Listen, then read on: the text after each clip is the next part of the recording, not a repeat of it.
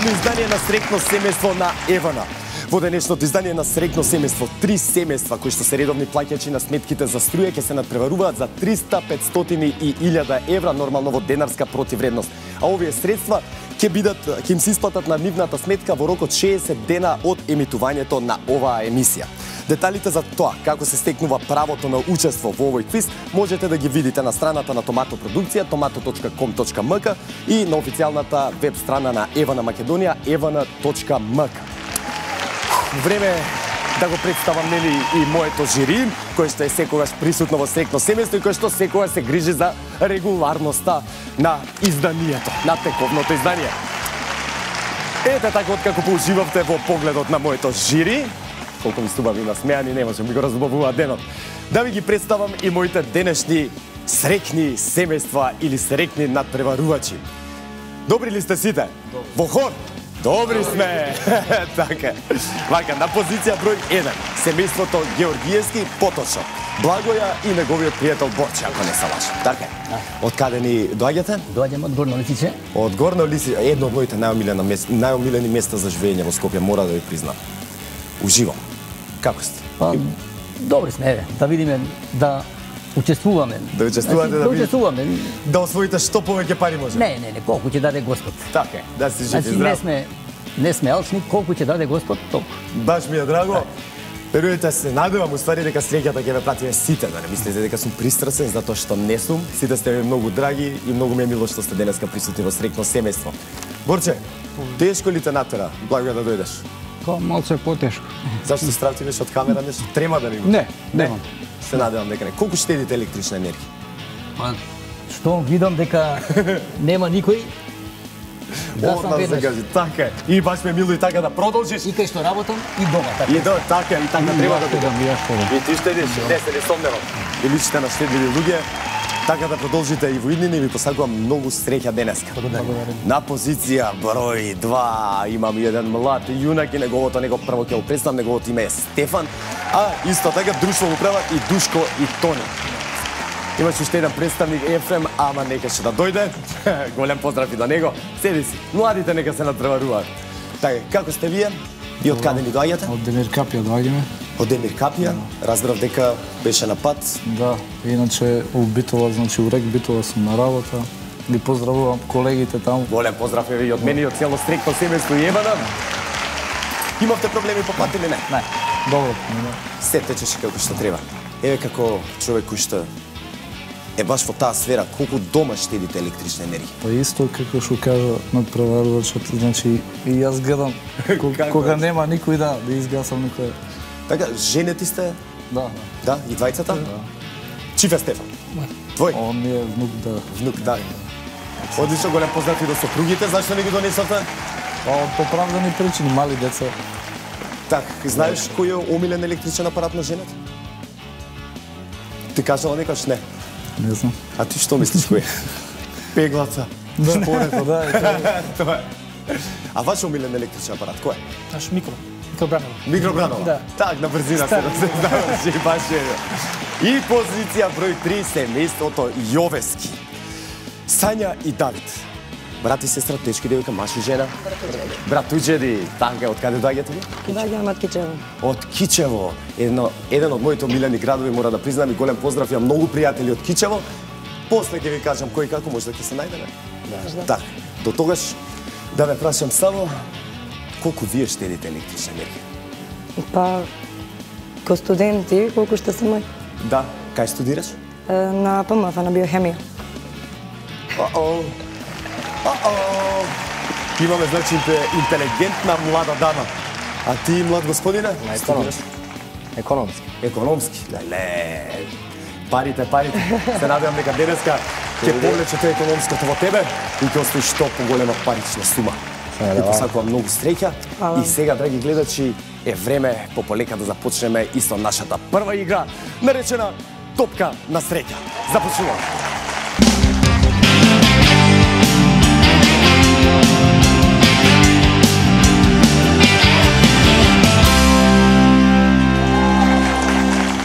Благо ја предпоставам ти си подготвен. Да, да, да. Горно Лисиче навива за тебе. А сега кој ме гледа? Кој те гледа? Нали, кој не ме гледа? Кажи ми, сакаш да те гледат или не да те гледат, зашто ќе треба да частиш ако те гледаат? Нема проблем, јас сум дарежлив човек секојаш. Да, си жив и здрав. Сакам такви луѓе и ти посакувам многу среќа, победи на твојата позиција. Ти имаш три обиди да оствариш што поголем збир на коцки, на бројки, како сакате. На мој знак 3, 2, 1. Може, мавај. Убаво сконцентриран, пази само. Дали ќе падне? И падна коцката, што значи ќе ја броиме. Чеке само на оваа коцка вака да ја направим, имаме такво правило, ете го. Имаш, предпоставам, со уште еден обид. Ќе решиш и последната коцка. Така е, пази само да не тите топката. Машала е, имаме 18, 22, 24, 29. Знаеш, 20. До 20 не се закирај. До толку знам математика. Ова е еден од подобрите резултати мора да ти признам што сме ги имале досега во срекно семејство. Може да се вратиш на твојата на твоето место, на твојата позиција, а јас ги очекувам Јаневи да ми се приклучат. Тони, подготвен? Да. Знаеш што треба да правиш, така? Стефан, најува за тато.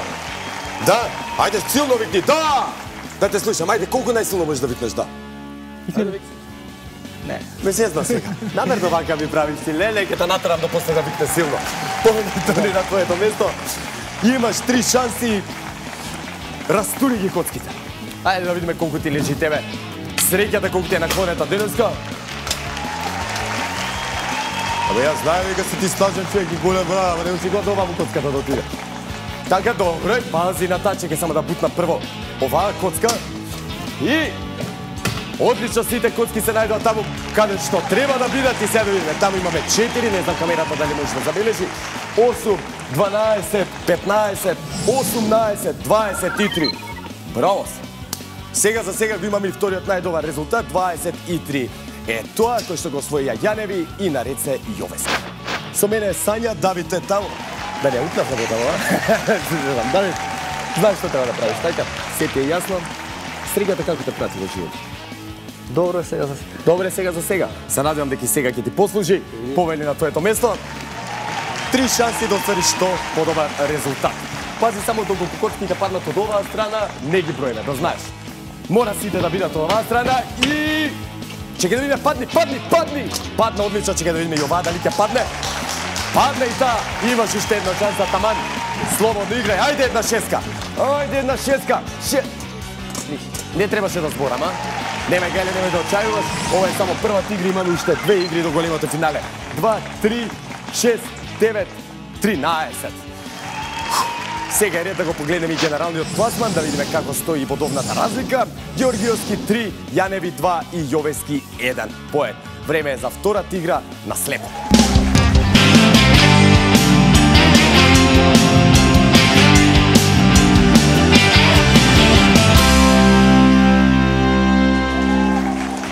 Благо и Борче се на своите позиции. Благо, колку што разбрав, бале на галеното игра. Да, да, да. Прека, надимак.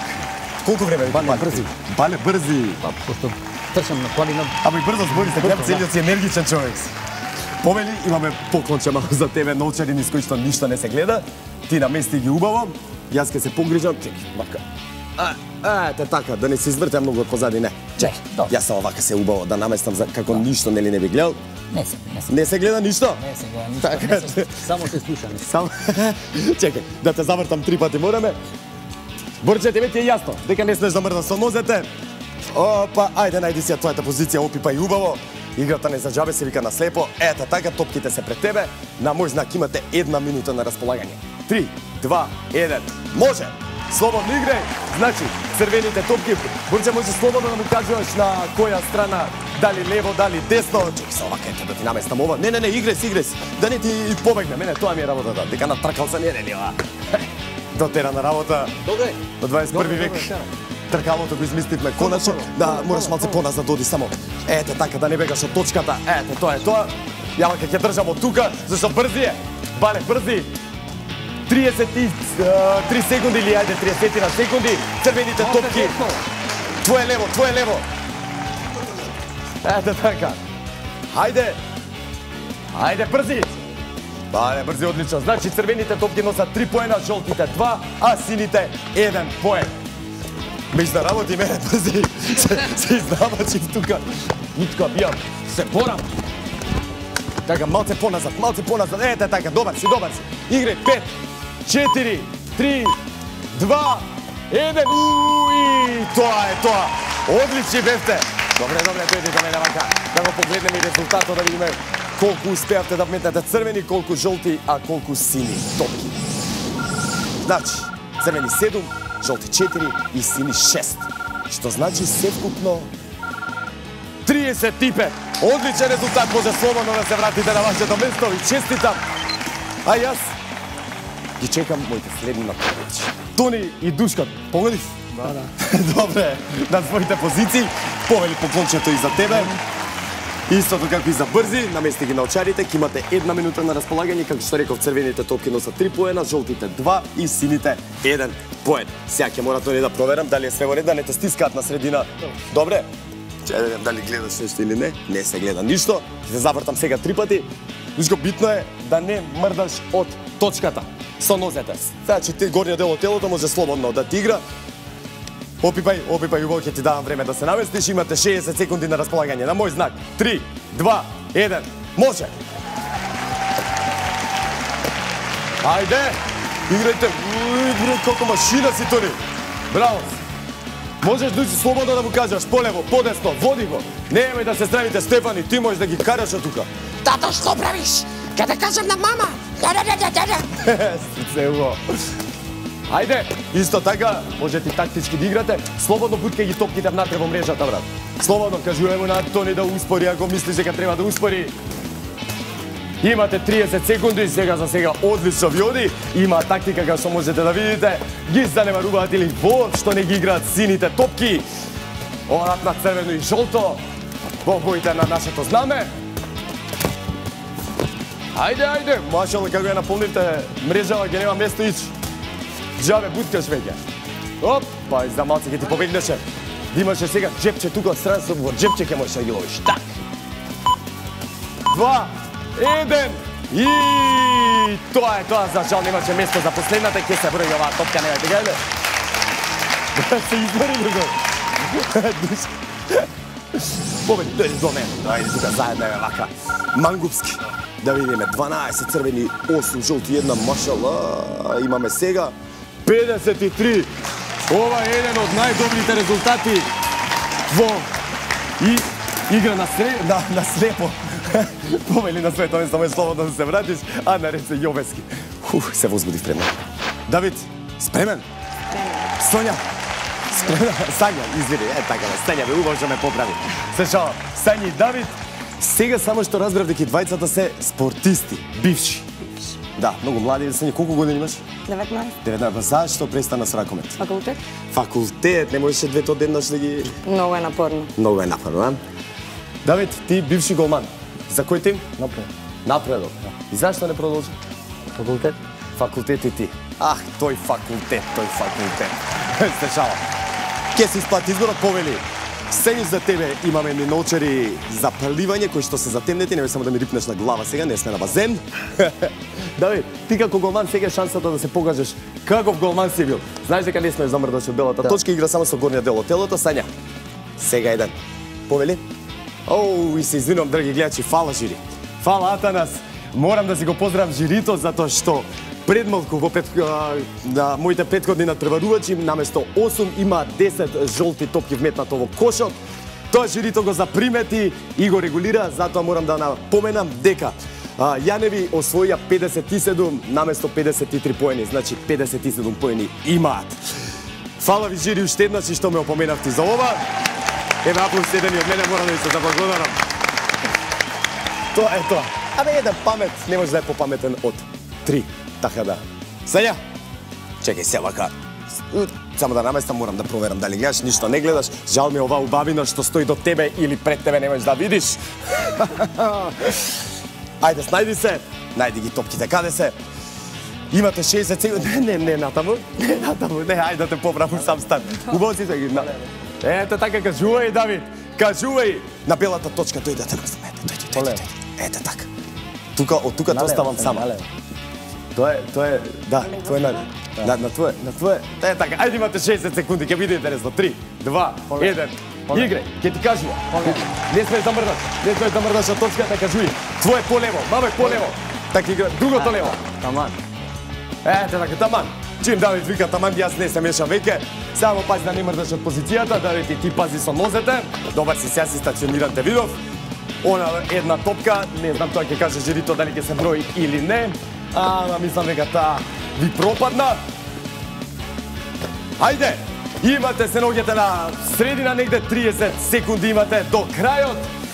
Сега за сега одлично ви оди, гледам дека вие ја практикувате истата тактика што ја има Јаневи, а тоа е не ги играме сивите топки. Не ми се свиѓаат затоа што да се само еден по еден, ќе ги играме само жолтите, ама сега ти остана најмногу сини, па ќе видиме што ќе правиш на крај. Сега за сега одлично се снаоѓа секоја чест. Да не гледаш малце?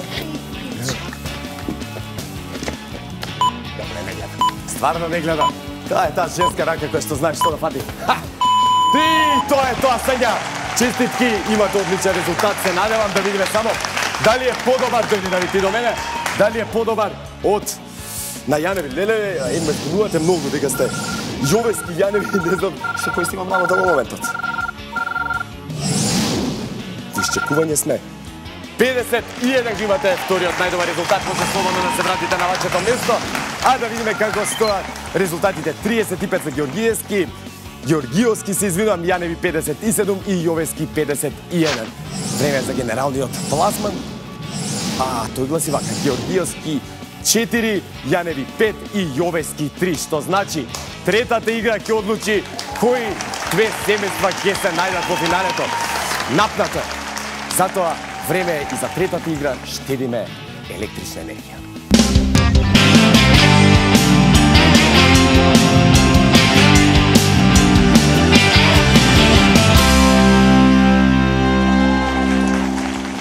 Георгиевски Благоја Бале брзи на своето место. Знаеш што треба да правиш, така? Да, да, да. Дизгаци што повеќе светилки за 60 секунди или една минута. Пази, кај тоа на сите сме кажам, не да маваш во толниот дел, значи не е битно колку силно ќе мавнеш, така да битно е местото каде што ќе погодиш. Значи на мој знак започнуваме. Гледај да не мрдаш од белата точка. Тема геле. 3 2 1. Може бале. Сконцентрирај се, имаш доволно време. Очигледно прецизна рака, само уште да најдеме вистинското место. Му се намерачи на тој штекер. Прекинувач. Види изигра некој друг може да стеката лежи на друго место. Така ете и првата светилка за Бале. Ајде Бале, дај се од себе сега да изгасиш што повеќе светилки можеш. Ете и втората светилка, драги гледачи што сте покрај вашите екрани, телевизори, мали екрани, големи екрани, домашни киносали. Четири светилки не е толку лесно како што изгледа додека седите дома, уживате со срекно семејство, си јадете и си пиете и коментирате. Ех, ја да сум ќе ги изгасам сите одма. Не е така, верувајте. Проблематично е, тешко е. Малце пази со ногата, само пази, ете така. Нема веќе не беше многу далеку, жилито дете се согласува. Само гледа да не е цел чегор, имаш уште 5 секунди, бале. Ајде, добар резултат има сега за сега. Ајде една за крај. Ајде една за крај. И многу ми е жал. Што не изгазим уште една, имаме 5 севкупно светилки, тоа е одличен резултат, верувај. Слободно можеш да се вратиш на своето место, а наред се сега Јаневи.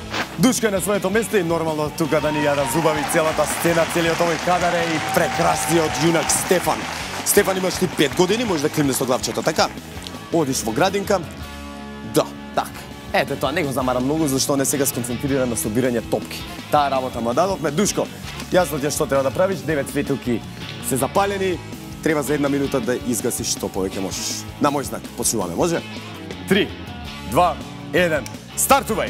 Јас ќе се повлечам тука кај Стефан, заедно, дојди, дојди, а, сега да собере топки, ајде, трчај ни студио. Троши енергија. Знам дека сега си 300 на сат, Пази само на фујче да не го удриш, така, собери колку топки можеш повеќе. Носи му така, е, така оставе. Браво си. Ајде, Душко, ајде првата да малеро да го се. Не е толку лесно, пак ќе кажам. Ете, ај, првата светилка. Еј, извини. Ајде, одиме се на втората. Дали изгасме втората? Не, се уште сме на една светилка. Уф, напната е. Сконцентрирај се. Имаш уште 30 секунди, ајде. Доволно време е, веруј. Само да се нацентрираш како што треба. Зезнате. Дели брат. Звездато е. Знам, јас ја пробувам, но ако ти кажам, пази Стефан, не му смете на вујче. Ајде! Ајде, барем уште една. Ајде! Ете, ајде уште една. Ајде со свирежот. Уј, штета, две светилки. Душко, многу ми е жал. Немој да очајуваш. Немој да очајуваш. Искрено кажувам, не е така лесно како што изгледа кога седиш дома покрај телевизор и уживаш. Може слободно да се вратиш на своето место, а наред се Јовески. Фала ти бе, Стефан.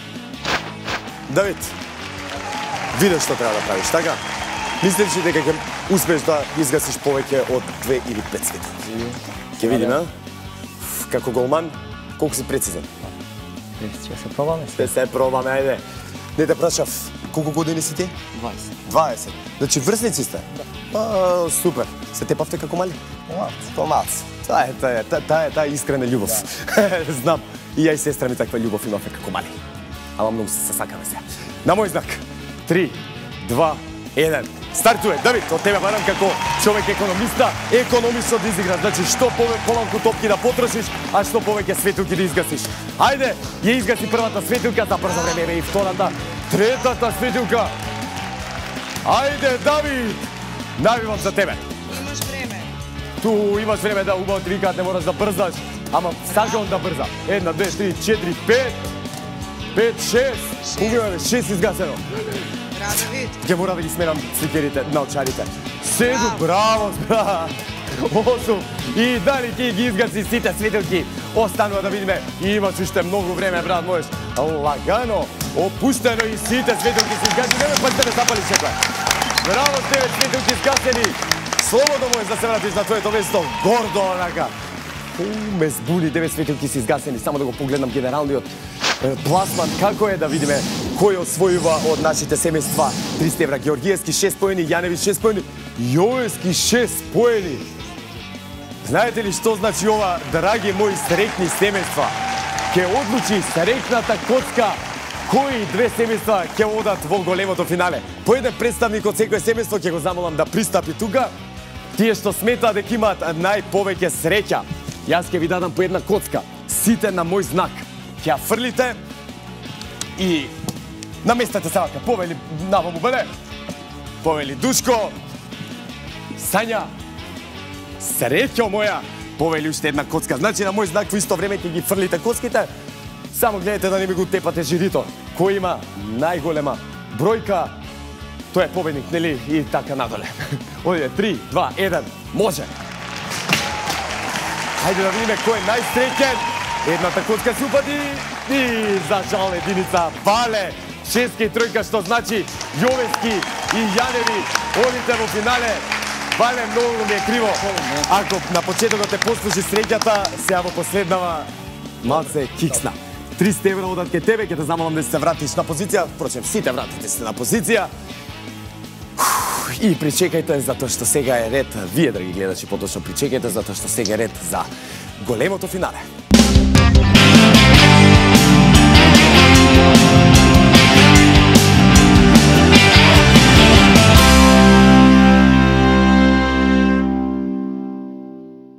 Добро е да знаеш дека имаш некој што секогаш е тука, подготвен да ти го олесни денот. Со Е-пункт плаќајте ги онлайн вашите фактури за електрична енергија со само еден клик. Регистрирајте се за Е-пункт на evana.mk. Евана, секогаш тука за вас.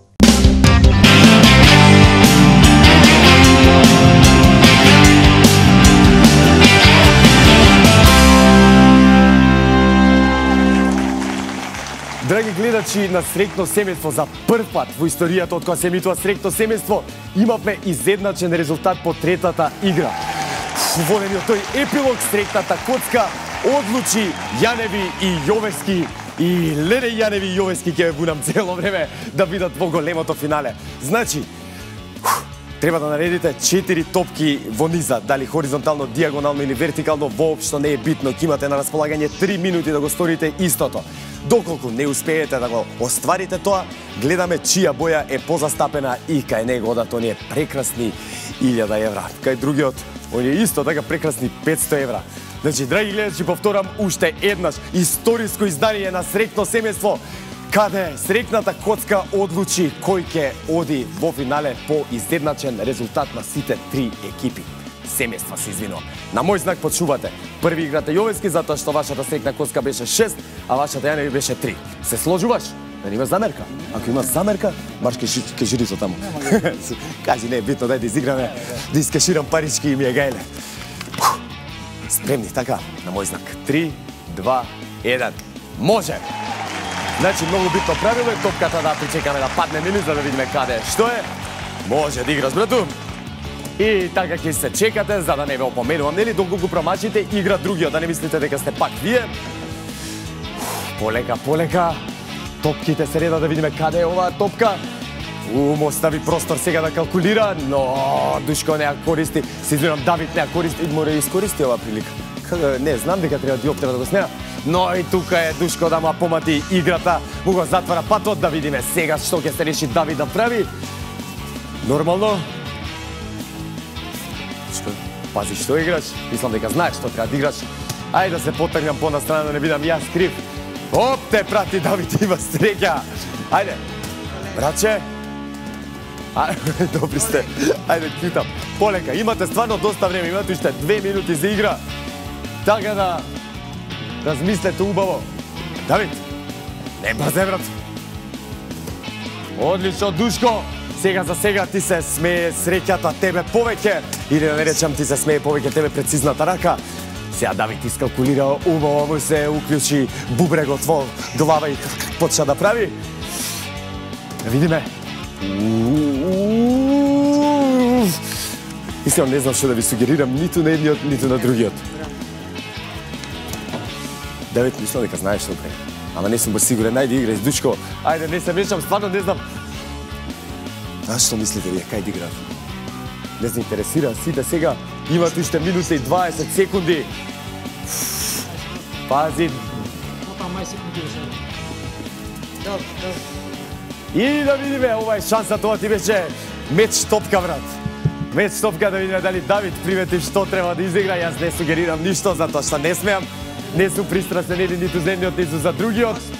И Јаневи со 1000 евра си ода дома. Јовенски, иди дами, Честитки 500 евра не е мала сума. Разочаран данес? Немој таман работа. Слободно може да се вратите на вашето место, да си честитат еден со друг. Опуштете се. Се помина онака како што требаше да помине. Јас сега пред да го повикам господинот представник на Евана Атанас Ковачевски, Драги мои, сакам да ви најавам еден прилог, затоа што бевме на сајмот за книга, каде што беше промовирана третата книга раскази од проектот на Евана наречен Создади книга. Поживајте во следниве 2-3 минутки.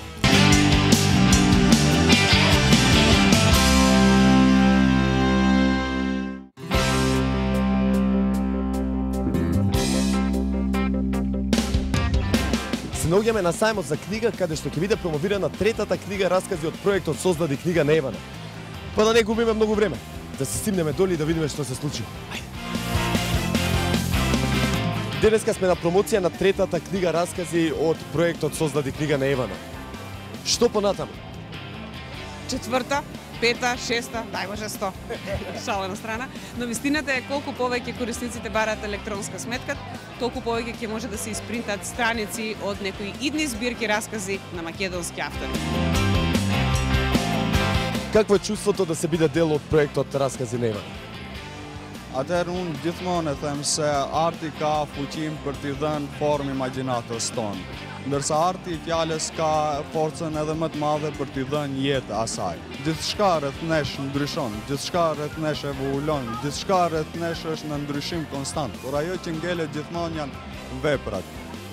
Shpresoj që edhe kjo vepër t'i shërbej qëllimit të saj primar për instalimin e shprehisë të të në mesin e shoqërisë tonë, e aq më shumë është e, buk, e bukura e kësaj vepre që ndron edhe për mundësinë që na jepet neve si autor të ri për të promovuar në mesin e lexuesve.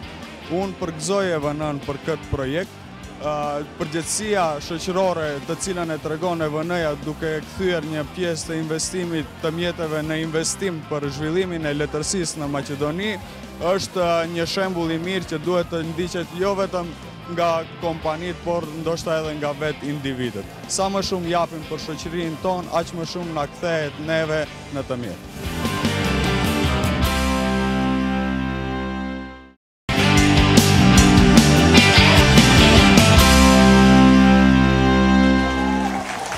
Драги мои пријатели, откако поуживавте во прилогот кој што го подготвивме специјално за вас, сега е време за the one and only, the best voucher giver, Атанас Ковачевски од Евана. Атанас? Одлично, одлично. Супер. Да те гледам сега мака со ваучери се мислам, Убави, прекрасни негови. Викаш да ги дадеме или да пегаме? Обавезно. Затоа што тоа се за нашите корисници кои редовно ги плаќаат сметките, кои се натпреваруваат, да. Ама немаше среќа да ти излечеме. Тоа е тоа. Они тоа има не среќата среќа. вечер, они има среќата одлична игра. Ова беше најинтересна до сега игра. Супер беше. 6-6-6 беа бројките и навистина среќата, среќна Така е. на коцка одлучуваше. Одлично. Така е, напнато беше до самиот крај. Да ги повикувам веќе луѓето, да?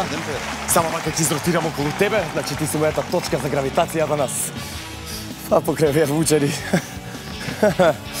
Третото место или 300 евра одат кај семејството Георгиевски, а ќе ги подигне кој друг ако не Благоја Бале Прзи. Помени Благоја.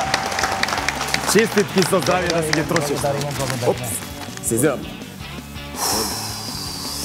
Бале, Да, како верете. планираш ти да ги потрошиш сегове Па. парички, кажи? Париве не се мои, ќе го чекам старејкот од Париз да дојде во јули или август, па тогаш ќе ќе одлучи тој. Да? Што ќе- прави? Да, можеш во меѓувреме дека ти надо. Цела бртка да потрошиш, ба ти што ти е гајна. Ти честитам многу, со здравје да си ги трошите парите, може слободно да си застанеш позади, а јас ќе ги повикам да ми се приклучат Јовески и би преферирал Сања да дојде да го подигне чека. Дојди Сања да ја разубави сцената. Срска честито. Трие сиња дарчи. Вие дојдовте во име на дедото, така? Да. Сега, дедо ќе биде некој динар или Ќе го почастиме. ќе го почастите колку?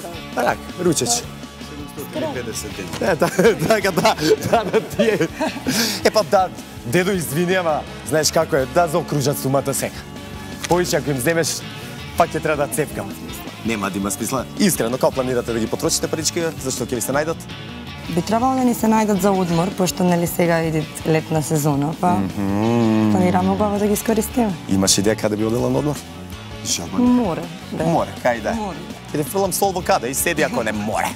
Голема работа. Ти па сакам многу среќи понатаму во животот со здравје да си ги трошиш парите. Може слободно да си застанеш од позади и сега ќе ги повикам добитниците на овие 61.500 денари или народски кажано 1000 евра, а тоа е семејството Јаневи, Душко или тони кој сака, мада ја би сакал и Стефан да дојде. Стефан, Јас Стефан си го викам на галеро Електрик Мен. Видете му ги патичињата. Честито. Дај направиме еднаш. Виде, ај рипни малце да видат сите тука камерата нека забележи како ти светат патиките. Ајде рипни. Рипни, рипни, скокни. Е, а? Знате и беше Струја и му помогна на тато да ги освои овие пари поточно на Вујче и на тато. Душко, дојди понаваму. Дојди, дојди, дојди. Се, ајде да кажеш каков е твојот план да ги потрошиш овие 61.500 денари. А, моментално сум изградба, значи куќа правам. И таман може нешто Се така. погодија паричките, многу ми е драго. Кај правиш куќа, брат? Таму да ми скапе. Демир капија. Кој ќе викаш Може, с каричка? кога сакаш. Правиш фурничка, Кога да? сакаш? Што направиме? Е, направиме, мора да направиме. Би посакувам многу среќи понатаму во животот со здравје да си ги трошите парите. Може слободно да застанете позади, а да нас некои последни зборови за ова издание. Исто нека плаќаат редовно, нека очекуваат кој ќе има среќа ќе биде излечен, најпрво се учества, потоа играта на среќа ќе покаже колку пари ќе освоите. Посакувам и тебе. Многу среќа и ти благодарам што дој повторно време да ги доделиш овие ваучери. Драги мои пријатели, тоа беше се за денешното издание на Стрекно семејство. Се гледаме следната недела во хуманитарното издание на Стрекно семејство. До тогаш, ариведерчи!